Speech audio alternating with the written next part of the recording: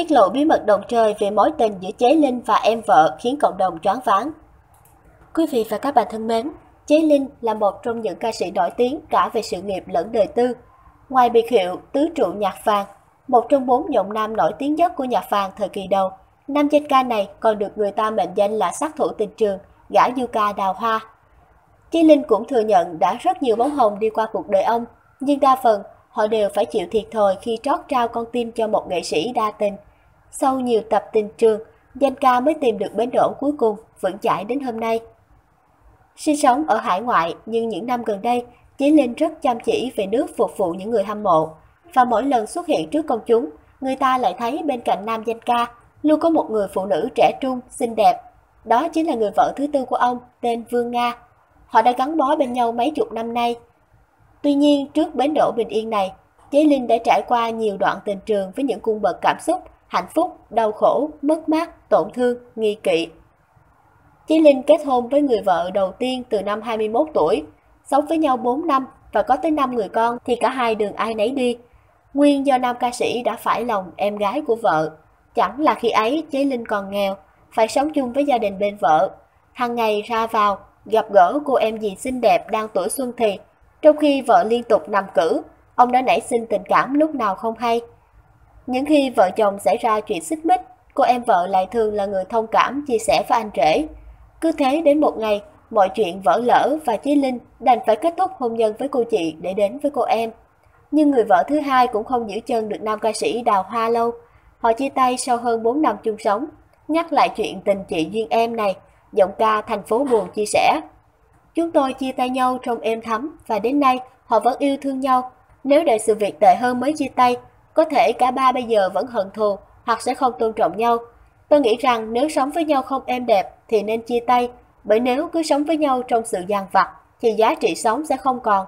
Nếu tôi không ra đi sớm, không chia tay sớm, chúng tôi bây giờ không thể nhìn nhau như những người bạn. Tôi từng mong khi chúng tôi chia tay nhau, tôi sẽ có vợ. Các cô ấy sẽ có chồng. Rất buồn là tôi có vợ nhưng hai chị em họ đều không chịu lấy chồng và đó chính là điều khiến tôi quý trọng họ. Cuộc hôn nhân thứ ba cũng gây cho nam danh ca nhiều tai tiếng. Người vợ này của Chế Linh tên Thúy Hằng, quê gốc Nam Định, sau khi quen biết và yêu nhau một thời gian, Chế Linh đến gia đình Thúy Hằng xin cưới ba lần mà không được, cũng bởi cái lý lịch hôn nhân phức tạp trước đó của ông. Được sự hậu thuẫn của người chú ruột Thúy Hằng, Chế Linh đã làm một chuyện tài đình là bắt cóc thiếu nữ 17 tuổi này. Sau 14 ngày dẫn Thúy Hằng đi trốn ở một nơi bí mật, Chế Linh mới đưa người yêu về. Gia đình cô gái khi biết chuyện đã tố cáo nam ca sĩ dụ dỗ trẻ vị thành niên Thậm chí một người bác của Thúy Hằng khi đó đang giữ chức vụ rất lớn ở Sài Gòn đã dọa kiện kẻ bắt cóc ra tòa. Cực chẳng đã, Chí Linh đành phải tìm tới năn nỉ. Cái này cháu có lỗi nhưng chỉ vì quá yêu. Cuối cùng tấm chân tình của chàng ca sĩ đã qua hai lần đò cũng khiến gia đình cô gái cảm động, chấp thuận cho họ nên duyên. Đến với nhau sau khi đã trải qua bao trắc trở, nhưng cuộc hôn nhân của cặp đôi này cũng không trường cửu bởi Thúy Hằng đã tự tìm đến cái chết để lại cho ông hai đứa con vẫn còn thơ dại. Việc ra đi đột ngột của người vợ này đã khiến Chế Linh phải hứng chịu những đồn đoán oan nghiệt. Người thì cho rằng chính Chế Linh đã gây ra cái chết của vợ, người lại phao tin vì nam ca sĩ mãi mê trăng gió nên là Thúy Hằng buồn bã xin uất ức tự tử. Sau này, nam danh ca mới trần tình rằng Hằng bị suyễn. Mỗi lần cô ấy lên cơn, tôi thường hủy tất cả các show để ở nhà chăm sóc vợ. Thời gian đó đang chuẩn bị diễn ra giải Kim Khánh Tôi có đăng ký tham gia. Hôm ấy tôi ra phi trường đón một số bạn trẻ, nhưng máy bay bị hoãn chuyến nên chậm tới 4 giờ. Khi trở về, mâm cơm hàng nấu vẫn đầy lòng bàn, nghĩa là hàng vẫn đợi tôi về để cùng ăn. Bình thường tôi sẽ nói với vợ, em à, ăn cơm đi, anh cũng ăn sơ sơ rồi. Nhưng hôm đó tôi lại nói, anh ăn cơm rồi, không ăn nữa đâu, và vội vàng đi tắm sau đó đi ngủ. Khi ba cha con tôi đi ngủ, Hằng xách giỏ đi đến mướn một phòng ở nhà nghỉ trên đường Gia Long nơi chúng tôi đã có những cuộc hẹn hò đầu tiên. 10 giờ sáng hôm sau, khách sạn phát hiện ra đưa Hằng tới bệnh viện nhưng không kịp. Thúy Hằng quy sinh chỉ để lại cho tôi đúng hai dòng thư tuyệt mệnh. Em ra đi để anh còn mãi trong tim em và em cũng còn mãi trong tim anh. Lúc Hằng tự vẫn, gia đình của ấy rất tức giận, quy hết tội lỗi cho tôi. May mắn cho tôi là trước lúc quyết định từ giả cõi đời, Thúy Hằng còn gửi cho em trai một lá thư, dặn ba ngày sau khi sự việc xảy ra mới công bố. Chính lá thư đó đã giúp gia đình vợ hiểu rằng tôi không dồn ép và cũng không phải là người giết vợ. Bản Bi vài năm tập trung cho sự nghiệp ca hát và chăm sóc hai con nhỏ, chữ tình lại tiếp tục đến với nam danh ca. Và đây chính là bến đỗ bình yên của ông cho tới ngày hôm nay. Một lần tôi tình cờ thấy con gái của chủ nhà tên là Phương Nga đứng trên ban công. Vẻ đẹp của thiếu nữ mới lớn khiến trái tim tưởng như đã nguội lạnh của tôi bỗng đập rộn ràng. Chí Linh nhớ lại giây phút sao xuyến trước người vợ thứ tư. Sau vài lần tiếp cận người đẹp, đêm Noel năm 1974, Chi Linh đã đánh liều đến nhà xin cha mẹ cho Phương Nga đi chơi với mình và hứa đúng 12 giờ khuya sẽ trả về. Chi Linh chở Phương Nga đầu tiên là ghé cửa hàng mua một bó hoa, sau đó lái xe hướng ra ngoại thành, rồi chạy thẳng vô nghĩa địa. Cô gái trẻ ngồi trên xe thất kinh hồn vía, vừa sợ ma, vừa sợ chàng ca sĩ dở trò bậy bạ nên hết lời năn nỉ, và xin Chế Linh quay xe ra. Nhưng sau đó cô đã trấn tĩnh và không khỏi xúc động khi được Chế Linh dẫn đến bên mộ người vợ cũ dân hoa. Việc làm đó của nam ca sĩ gửi đến Phương Nga thông điệp rất rõ ràng là muốn tiến tới hôn nhân với cô. Sau đó chàng đưa nàng đi hát và trở về nhà đúng giờ hẹn. Chế Linh cũng có được trái tim người đẹp từ đó. Vài tháng sau, Chế Linh sang nhà Vương Nga xin cưới nhưng lại bị từ chối vì họ hàng đã quá ngán ngẩm chuyện đời tư tai tiếng của nam ca sĩ. Xin cưới đàn hòa không được, tôi lại lập kế hoạch bắt cóc cô con gái giống như lần trước. Lần này tôi bắt cóc Phương Nga những 3 tháng. Ba của Phương Nga vất vả đi tìm con, đến khi tìm thấy con mình đang sống chung với tôi, ông ở lại luôn với chúng tôi. Má của Phương Nga thấy chồng đi tìm con không về, lại cho em trai Phương Nga đi kiếm. Đến lúc đó, ba cha con mới về nói chuyện phải quấy với họ hàng. Đến nước này, gia đình Vương Nga đành phải chấp nhận chuyện vắng đã đóng thuyền. Chúng tôi cưới nhau vào cuối năm 1975. Tôi đã và đang sống một cuộc sống êm đềm với vương Nga gần 40 năm qua. Chí Linh kể lại cuộc chinh phục gia đình vợ gian nan. Chí Linh chia sẻ sau khi kết hôn với người vợ thứ tư, ông vẫn được rất nhiều bóng hồng để ý. Thậm chí có người còn đề nghị làm người tình, chỉ đi bên cạnh cuộc đời nam danh ca cho thỏa nổi yêu thương. Nhưng sau nhiều tập tình trường với đủ cung bậc cảm xúc đã trải qua, Chí Linh đã đủ tỉnh táo để biết trân trọng hạnh phúc đang có. Chính vì vậy mà 40 năm nay, tổ ấm của ông vẫn bền vững. Chế Linh lần đầu chia sẻ về con gái và những kỷ niệm khó quên của đời mình.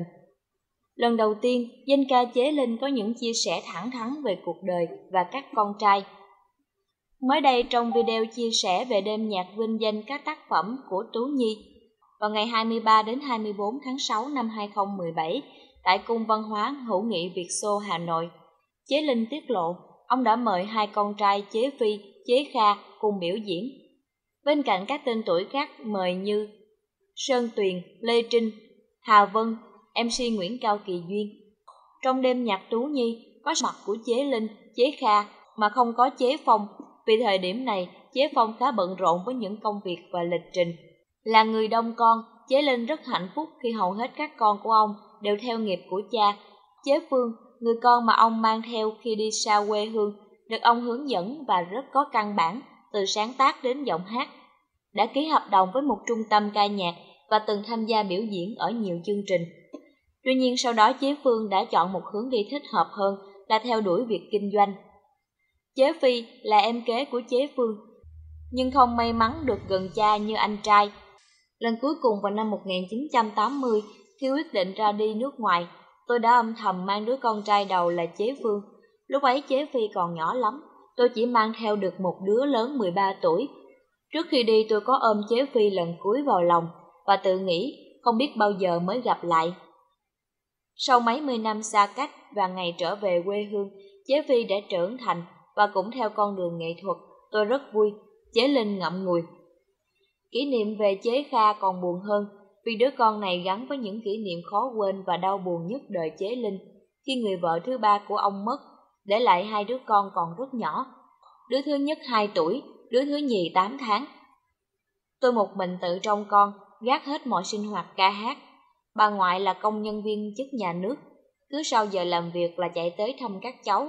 Vào mỗi cuối tuần, bà ngoại đến mang các cháu về nhà sau đó vì quyết định theo di thư của mẹ chúng nên đành phải giao nơi ngoại một đứa và bên nội một đứa em. Không bao lâu gia đình ông bà ngoại ra nước ngoài, qua diện HO và mang theo đứa anh. Hiện đang sinh sống tại tiểu bang Seattle của Hoa Kỳ. Đứa em vẫn còn ở lại quê nhà là Chế Kha, Chế Linh ngậm ngùi.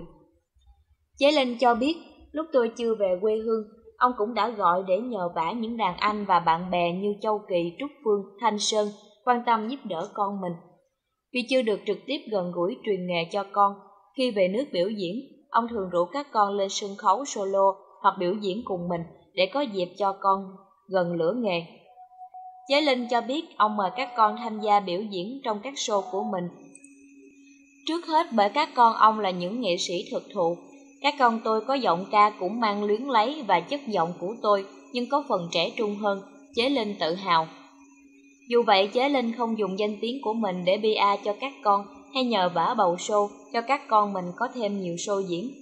Tôi không thể lấy tiếng tăm của mình ra để gây ảnh hưởng đến các con tôi, làm mất tự nhiên về nhiều mặt, từ nghệ thuật đến ý nghĩa sống trong xã hội. Trước đây tôi đã tự mình lần mò học hỏi, tìm hiểu vô cùng gian nan để vượt qua những khó khăn mới có một chỗ đứng của ngày hôm nay. Theo quan niệm của tôi, giá trị đích thực của cuộc sống là tự đứng bằng đôi chân của mình. Tuy ít khi sinh hoạt trực tiếp với các con, nhưng tôi vẫn luôn dõi theo những hoạt động của chúng, chế linh tâm sự. Ông cũng không muốn các con tham gia game show truyền hình thực tế để tìm kiếm cơ hội nổi tiếng. Game show đúng nghĩa chữ Việt là trò chơi, giải trí, có khi bới móc đời tư của nhau, mong gây sự chú ý của khán giả. Tôi không can ngăn, nhưng không có nghĩa là đồng tình. Hơn nữa chúng đã trưởng thành và tự biết mình phải làm gì. Chế Linh phân tích.